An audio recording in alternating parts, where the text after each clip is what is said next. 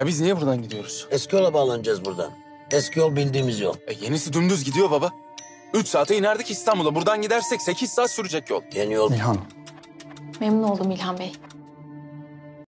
Hello friends welcome back to my channel तो friends बाबा series की episode three का second promo भी on air हो चुका है कादिर अपने बाबा से कहता है कि हम किस रास्ते से जा रहे हैं ये रास्ता बिल्कुल भी सेफ़ नहीं है तो ईमान सौरहानली इससे कहता है कि ये रास्ता बिल्कुल ठीक है। तो फ्रेंड्स कादिर अपने बाबा को समझाने की कोशिश करता है, लेकिन ईमान सौरहानली कादिर की एक भी बात नहीं सुनते।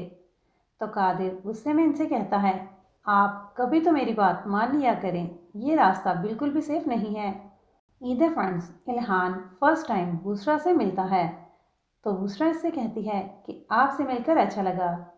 और फ्रेंड्स इल्हान तो बस दूसरा को ही देख रहा होता है।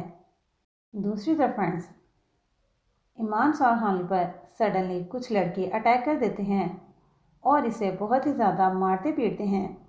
तो फ्रेंड्स कादिर को इल्हान पर डाउट होता है कि इन सब के पीछे इल्हान का ही हाथ है और वो बहुत ही गुस्से में इसके पास आकर कहता है कि अगर इन सब के पीछे तुम्हारा हाथ हुआ तो तुम्हें इन सब का हिसाब देना होगा।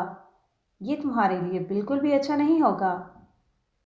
तो फ्रेंड्स आपको क्या लगता है कि ईमान शाहहानी की इस हालत के पीछे इल्हान ही है या फिर कोई और? कमेंट्स में ज़रूर बताइएगा। और फ्रेंड्स कैसे लगी आज की वीडियो? कमेंट्स में ज़रूर बताइएगा। और इस तरह की मज़ीद नई वीडियोज़ के लिए चैनल को सब्सक्राइब करना ना भूलिएगा।